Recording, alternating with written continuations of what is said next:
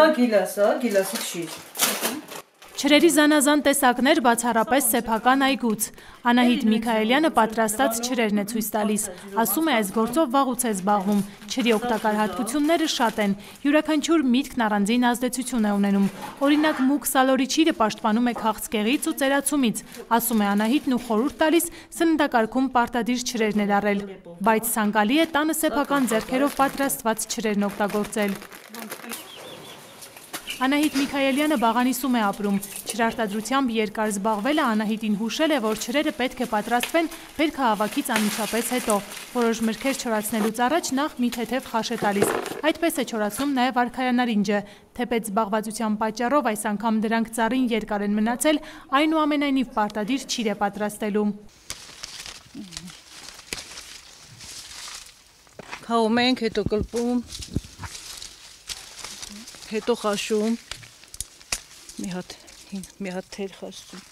5 րոպեով խաշում ու կախում տենց, քամոտ արևոտ տեղ։ Հետո պարտադիր այնպես է կանում պոչը մնա, չէ՞ ոնց Հա, հասկացա։ պոչը այս են, պոչը մնա, այսպես մնա պոչը, սենց կլպում։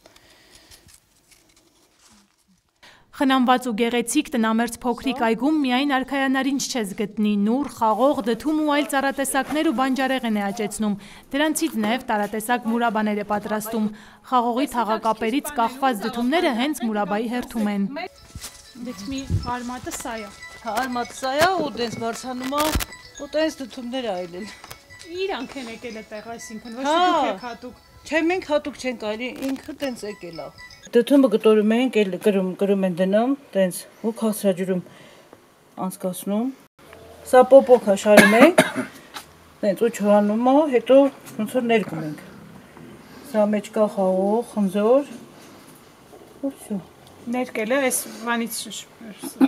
ներկելի նկատի ունեք այդ բանը։ Հա, սենց շարում ենք չորանում, հա։ Ու սենց պատրաստում ենք իր խաշիլը, խաշիլ ենք ասում։ Ու գցում մեջը, ու սենց կախում չորանում, արդեն պատրաստ է։ Այս բոլորը զուտ ձեզ համար վաճառքի չեք անում ձեր ապրանքը, հա, չէ։ Այն որ մաքուր ամեն ինչ ոնց որ բնական է, այդ արդեն ամեն ինչ է։ Նա նաև ամուսնուն է օգնում անասնապահական գործերում, գիթի անում ստացված կաթը մշակում ու կացնամթերք ստանում, թել պանիր, թթվասեր եւ այլն։ Գյուղմորը հագեցած է, ասում է։ Ժամը 6-ից արթնանում ենք։ Պարտադիր մի բաժակ սուրճ։ Այս սիրուն Ա, Առանց դրա հնարավոր չի։ Հետո արդեն դե անասունները կթում եմ։ Հետո կաթ մշակում ենք։ Տենց։ Ալբերտ Միքայելյանը Անահիտի ամուսինն է, տնտեսության ավելի ծանր ու պատասխանատու աշխատանքները նա է կատարում։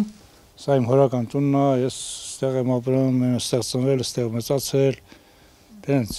ծառայել, հնգել հայրենիք հիմար ենք ծառայում, շատ վաղ տեսիմ գնում։